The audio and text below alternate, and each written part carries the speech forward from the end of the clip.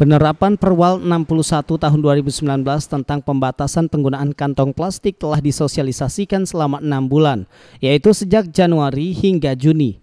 Pada Jumat pagi, Wakil Wali Kota Jambi Maulana memimpin rapat evaluasi kedua penggunaan kantong plastik bersama Kepala DLH Kota Jambi dan puluhan para pelaku usaha, baik supermarket, minimarket, dan toko bakery. Dalam rapat ini sepakati bahwa mulai tanggal 1 Juli seluruh pelaku usaha dilarang menyediakan dan menggunakan kantong plastik.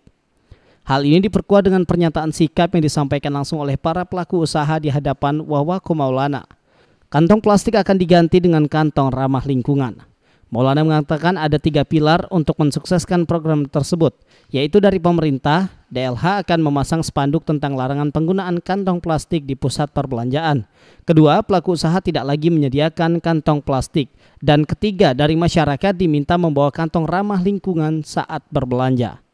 Maulana dengan tegas mengatakan jika masih ada yang melanggar komitmen ini, ada sanksi tegas yang akan diberikan. Pemerintah juga akan menurunkan timnya untuk melakukan razia sebagai bentuk pengawasan penggunaan kantong plastik. Pembacaan sikap, pernyataan sikap dari seluruh pelaku usaha yang sudah berkomitmen bersama-sama pemerintah mulai 1 Juli tidak menggunakan lagi kantong plastik, tapi diganti dengan kantong belanja yang ramah lingkungan. Nah, untuk menyukseskan ini ada tiga pilar. Yang pertama adalah komitmen pemerintah. Kami akan menunjukkan di mana Dinas Lingkungan Hidup akan memasang spanduk di beberapa titik uh, pusat perbelanjaan untuk menegaskan per 1 Juli supaya masyarakat membawa kantong belanja ramah lingkungan sendiri atau uh, pihak mallnya sendiri juga menyiapkan.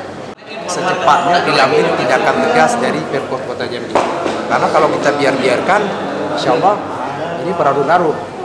Jadi kalau dari ini pernyataan sikap dari Lipukluk, ya, dari Lipukluk itu menyatakan bahwa sangat mendukung apa perlu sifatnya diambil tindakan tegas dari Pemkot Kota Jambi. Suci Mahayanti, Jambi TV.